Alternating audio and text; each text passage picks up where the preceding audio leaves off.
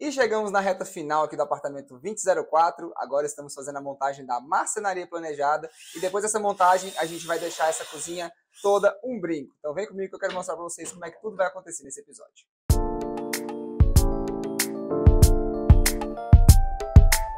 Olá, eu sou o Fernando Bento e seja bem-vindo ao canal da Bose Bento. Aqui onde a gente fala sobre arquitetura, decoração, obras e também manutenção. E antes de começarmos esse vídeo, já deixa seu like aqui e se inscreve no nosso canal para você acompanhar toda a saga desse apartamento. Se você não viu os anteriores, tem aqui o link dessa sequência e também vamos acompanhar até o final para ver o resultado dessa cozinha que está maravilhosa. E eu já vou começar mostrando para vocês aqui que essa cozinha já está uma revolução. Toda a marcenaria chegou ontem, todas as peças, e a gente já iniciou a montagem e praticamente todos os caixotes já estão no lugar. Vou começar fazendo um tour aqui com vocês. Esse armário é o armário onde vai ser o cantinho do café, então nós teremos portas aqui em cima, portas aqui embaixo, e essa parte aqui é um nicho que vai ficar aberto no meio. Nós inclusive temos as tomadas aqui da parte das cafeteiras. Então isso daqui a gente já está deixando prontinho, né? Todo ele já está estruturado no lugar e a gente está fazendo as montagens. Aqui a gente também já tem um armário da ilha, que ele já está posicionado todo o caixote. Aqui essa parte que será azul, todo ele já está na posição certinha, com a tomada da torre de tomada também no lugar. Então aqui também só falta a gente fazer os acabamentos internos. Esse armário embaixo da bancada também já está posicionado. Aqui temos as gavetas, temos aqui onde será duas portas, que inclusive dá acesso aqui à manutenção do aquecedor, de toda a parte da pia. E aqui o espaço da lava-louças que está separadinho.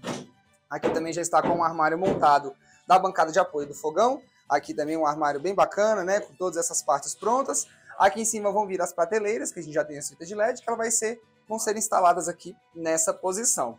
Aqui desse lado a gente tem esse outro armário que vem do lado da porta de entrada da cozinha. Esse espaço é o espaço destinado para a geladeira. Tem esse armário aqui em cima dela. E aqui a gente vem com mais armários também. O nicho onde vai ficar o micro-ondas. Tudo já nas posições e a gente está terminando de montar o último armário, que é esse armário em azul, que vai ali na lateral da porta também. Então a gente está nessa fase de montagem aqui desses caixotes da cozinha. Depois que finalizar, é só a gente vir colocando os acabamentos, né? Fazendo todos esses fechamentos e depois colocando as portas. Aqui na lavanderia, a gente também já tem todos os armários posicionados. Então, olha só, esse armário daqui, a gente tem o vassoureiro, que é esse armário que vai ser grande, né? Não temos prateleiras. E aqui a gente tem esses outros dois armários, que aqui já tem essa área onde vai ser porta e esse daqui que ele vai ficar aparente. Então, todo ele já está prontinho aqui. Com a estrutura é só a gente vir fazer a montagem final das portas e dos acabamentos. E desse lado, o armário que vai ficar embaixo dos tanques, né? Então aqui a gente já tem já todo esse armário, que você gata depois aqui embaixo, já está tudo na posição, já para a gente vir finalizar essa montagem. Então a primeira parte é fazer a montagem dessas estruturas, que a gente deixa todas no lugar, depois a gente vem dando os acabamentos.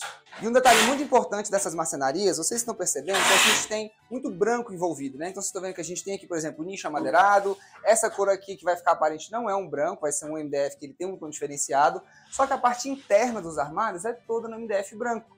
E o porquê que a gente faz isso? Isso traz economia para essa marcenaria. Porque imagina só, tudo isso que vai ficar escondido, que não vai ficar aparente, se a gente fosse utilizar esse MDF, que é de colorido, que a gente chama, né, que tem tom de madeira ou outra cor, vai sair muito mais cara. Então a gente aproveita, usa o MDF branco onde vai ficar escondido as partes internas de armário e deixa para colocar esse MDF colorido apenas onde é exposto.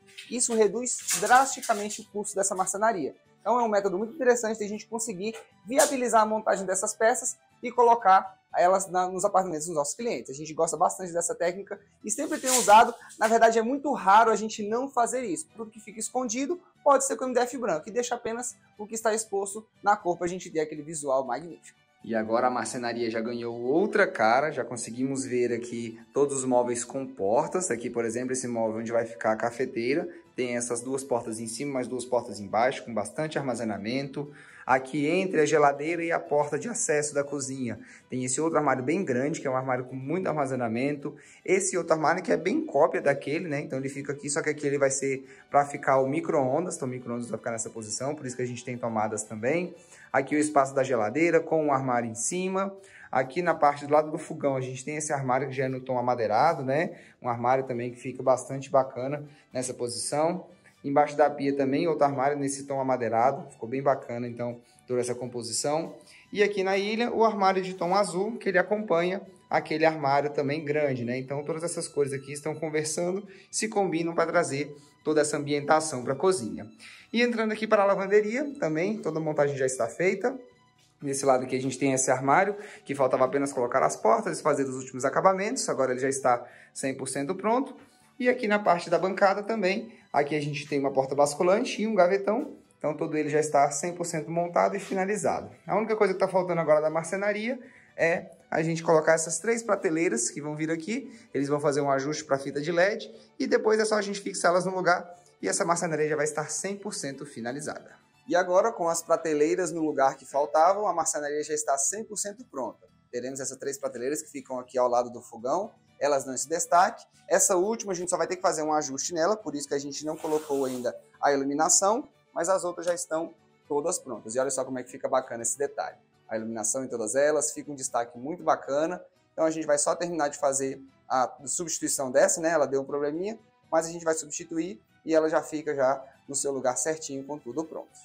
E agora, com toda essa parte da marcenaria pronta, a gente pode ir para as próximas fases, que a gente vai entrar com a pintura final. Então agora, na semana que vem, a equipe de pintura já vem para a gente fazer todos esses arremates e vamos deixar esse apartamento todo 100%. Então, se você está gostando desse diário de obra e quer ver o resultado final desse apartamento, é só deixar seu like aqui e se inscrever no nosso canal para receber as notificações dos próximos episódios que estão por vir. E se deseja ter um acompanhamento como esse da sua obra, é só entrar aqui no link da descrição também e solicitar o seu orçamento. Vai ser um prazer participar desse sonho junto com você. Muito obrigado por nos assistirem até aqui. Eu espero vocês no próximo vídeo. Um abraço e até a próxima.